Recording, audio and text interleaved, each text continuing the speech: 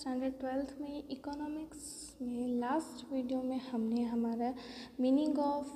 Barter system और उसके limitations देखी थी। आज के इस वीडियो में हम मनी किसे कहते हैं और ओरिजिन उसका डेवलपमेंट किस तरह से उसके बारे में करेंगे। सो लेट्स गेट स्टार्ट सबसे पहले हम origin and development of the concept of money में देख लेते हैं। उसमें ई वैल्यूशन ऑफ़ मनी तो मनी के जो ई वैल्यूशन वो कब हुई? In order to simplify the procedure of exchange and introduce a universally accepted medium which satisfies the store of value of function under the barter system animals were used as a max uh, a medium of exchange in india. अब यहाँ पे money uh, की revolution uh, कब हुई? क्योंकि हमें एक universally accepted medium जो है था कि जो हमें स्टोर वैल्यू समझा सके उसके फ़ंक्शंस जो हैं वो समझा सके और हम इजीली जब भी हम प्रोडक्ट कर परचेस करें या सेल करें तो उसे हम इजीली एक्सचेंज कर सकें। और बाटर सिस्टम में क्या होता था कि हम कोमोडिटीज़ या कोई भी एनिमल्स जो थे वो यूज़ करते थे कि अगर हमें कोई भी चीज़ चाहिए so agriculture being the major sector of the economy there was a large production of crop uh, which the required stock uh, stored. Rest of crop were sold to buy animals. When required the animals uh, could also be sold to get goods such a service or even the crops in return. In this way animals like horse cows and buffaloes become the means of exchange values for the money and trade. अब यहाँ पे हमारे India में क्या होता था कि agriculture is a major sector economy mostly जो इनकम होती थी वो हमारी एग्रीकल्चर सेक्टर के ऊपर ही डिपेंडेंट होती थी. इसलिए जब भी यहाँ कोई भी फार्मर थे, वो लार्ज प्रोडक्शन करके और उसे स्टोर करके जब भी हमें ज़रूरत हो हम इजीली स्टोर करके रख देते थे. और जो सफिशेंट स्टॉक हमारे पास रखते थे, हमें जितनी ज़रूरत होती थी उससे हम रखते थे। बाकी का जो स्टॉक था, उसे हम सेल कर देते थे for against the purchase of animals and जब भी हमें एनिमल की ज़रूरत होती थी, या तो फिर हम गुड्स परचेस करने के लिए हम एनिमल को सेल कर देते थे, या तो फिर क्रॉप्स परचेस करने के लिए तो इसलिए तो पहले के ज़माने में animals like buffaloes cows horse were use to the exchange value for the money and trade के। जब भी ट्रेड करना था, तब जो है वो एक्सचेंज वैल्यू के रूप में हम एनिमल्स का यूज़ करते थे। The use of animals as a standard wager in the common medium of trade is also become a limitation in cost difficulties animal animals are mortal they get sick and die therefore the shortage of wealth in form of animal wage was not admissible कि पहले के ज़माने में क्या होता था कि हम जो एनिमल्स उसे हम यूनिवर्सली एक मतलब उन्हें हम एक स्टैंडर्ड मेजर कंसिडर करते थे और उसी के अकॉर्डिंग ही हम हमारी जो भी कम्युनिकेशन या जो भी हम एक्सचेंज था वो हम करते थे. बट जैसे जैसे टाइम स्पेंड होता है but animals it's not perfect और advisable medium of exchange therefore because कुछ सम रीजन्स के कारण एनिमल्स बीमार भी हो सकते हैं, वो डाई भी हो सकते हैं, वो पतले भी हो सकते मतलब कि वो उनका इतना डेवलपमेंट भी नहीं होता। एज अ रिज़ल्ट हम उन्हें प्रॉपर जो है, वो हम उन्हें as a medium of exchange हम उन्हें यूज़ नहीं कर सकते। हैं at the onset of imperialisation the use of coins start जैसे जैसे राजाओं का ज़माना आता गया कोइंस का यूज़ जो है, वो स्टार्टेड स्टार्ट होता गया। As a means uh, the trade and exchange of goods and service in the kingdom the only limitation was that there was a limited society and regions अब यहाँ पे फिर राजाशाही के ज़माने में है ना जो कॉइन स्टार्ट होने लगे बट उनकी एक लिमिटेशन क्या थी कि वो उनके पास कोई लिमिटेड सोसाइटीज़ के जो रिच पर्सनस होते थे उनके पास ये कॉइन्स जो है वो होते थे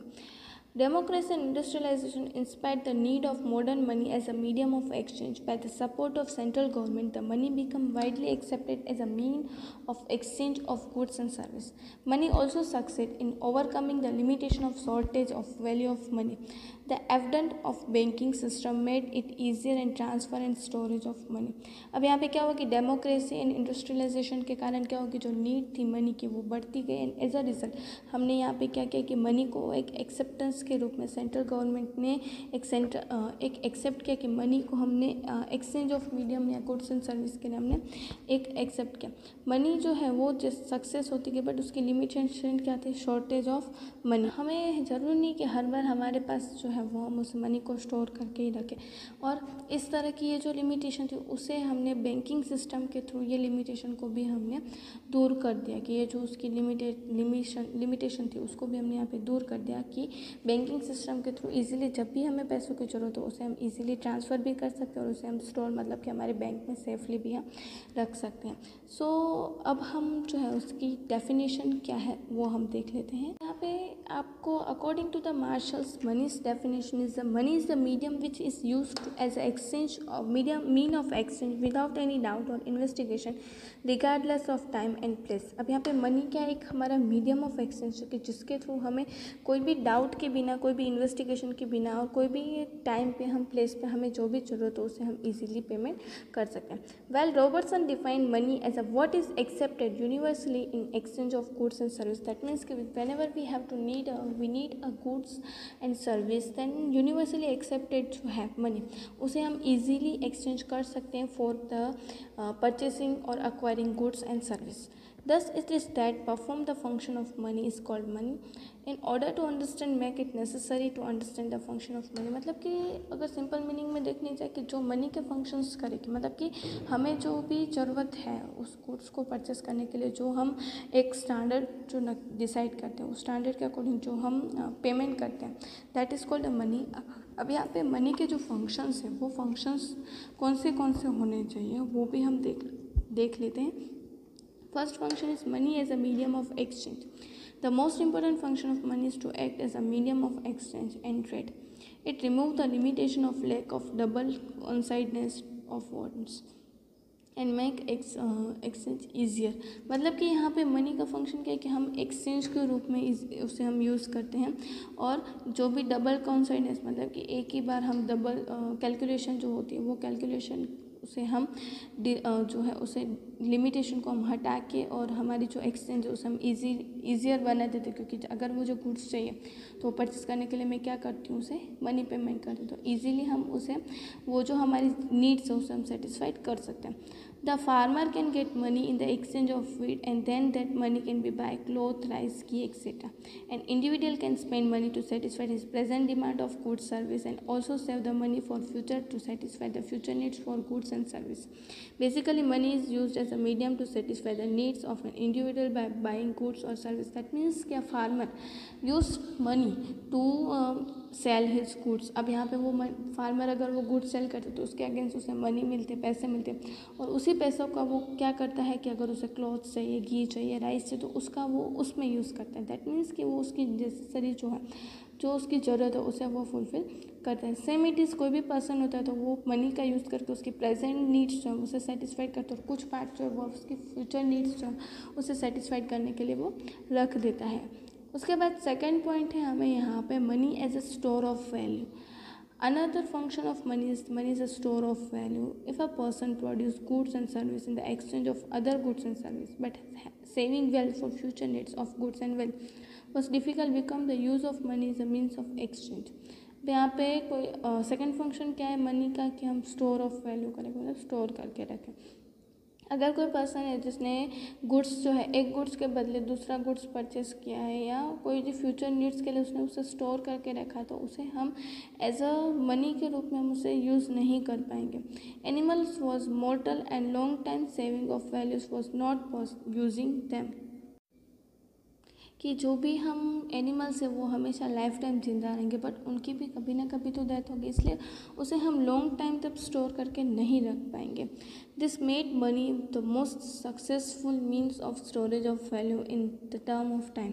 it is easy to have money as a store of the value it become possible to get money in the exchange of crop and save money for the future needs to buy our goods फिर इस time पे अगर जब हमें पैसों की ज़रूरत हो तो अब हम मनी ऐसा हम, उसे हम इजीली स्टोर भी कर सकते हैं और जब भी हमें फ्यूचर में उसकी ज़रूरत हो तो हम उसे सेटिस्फाई उसके थ्रू हम हमारी नीड्स को भी इजीली हम सेटिस्फाइड कर सकते हैं। That is called a money as a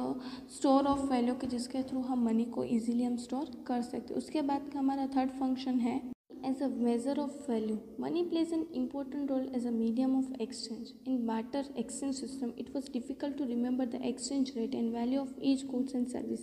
For 20 kgs wheat equal to how much kgs of rice, equal to how much meter of goods, 7 uh, equals to how much kilo of ghee. While on the other hand, money make a easier allowing the value of different goods and service to be compared and assets against each other. Money implies the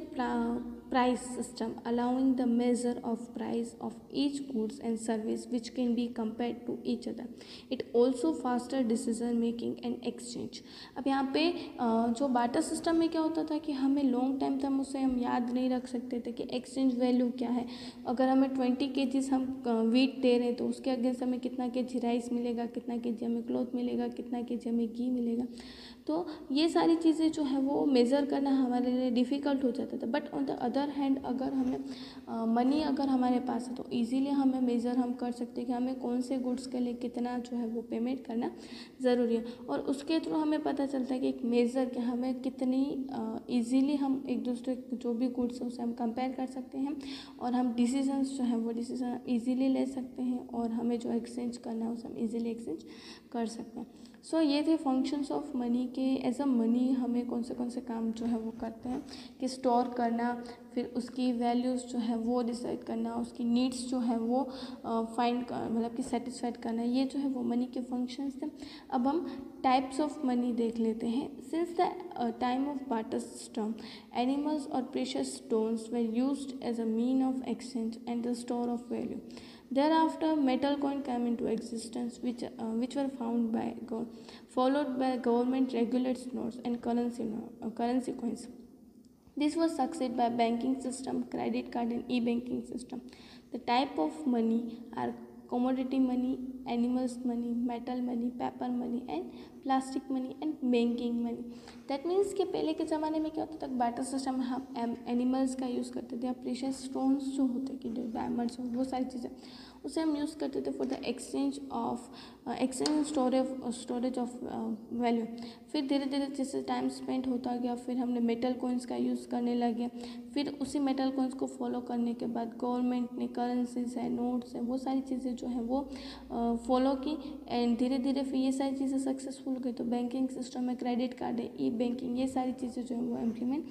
होने लगे। अब यहाँ पे types of money that means commodity money जो हम goods and service को जो exchange करते थे, वो सेकेंड इज़ एनिमल मनी जो हम एनिमल्स को एक्सचेंज करते थे metal money that means coins paper money that means notes and plastic money that means कि जो हमारे credit card and debit cards होते हैं। And banking money that means कि हम ऑनलाइन पेमेंट जो करते हैं या ऑनलाइन ट्रांजेक्शन करते हैं that is called the types of money so so, आज के इस वीडियो में हमने देखा कि मनी किसे कहते हैं उसकी डेफिनेशंस उसके functions and types of money किसे कहते हैं वो। Thank you